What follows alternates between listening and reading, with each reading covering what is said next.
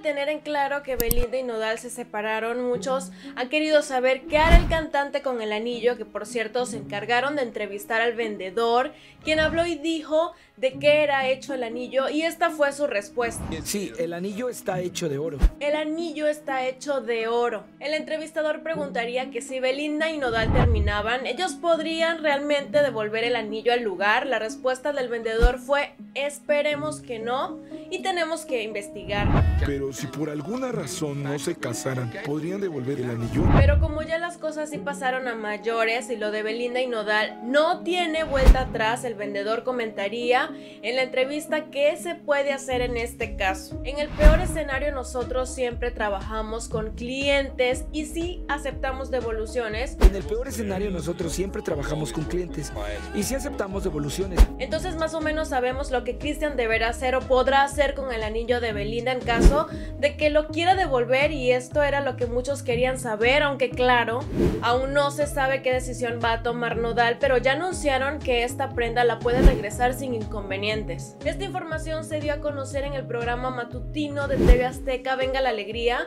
Este programa se puso en contacto con la joyería donde el cantante pues compró el anillo. Asimismo, el encargado de la empresa agregó que en dado caso de que Nodal regrese la joya, deberá entregarlo presencialmente para hacer una validación del producto y poder hacer el reembolso. Por otra parte, algunas condiciones que tienen otras empresas joyeras señalan que los anillos de compromiso a sí mismo, los anillos grabados o de talla ajustada no se pueden devolver ya que son productos únicos y que se hicieron con especificaciones. Además, en el programa dijeron cuánto pudo costar esta joya porque en realidad el monto exacto no lo saben y sería aproximadamente como 3 millones de dólares. Y bueno, últimamente hemos visto que la expareja ha tratado de dar mensajes de tranquilidad a sus seguidores tras el fin de su relación en redes sociales. Han comenzado a hablar de que si Belinda debería de regresarle la costosa sortija de compromiso a Nodal o conservarla. La polémica que gira en torno al anillo ha trascendido hasta el interés de algunos famosos que han dado su punto de vista.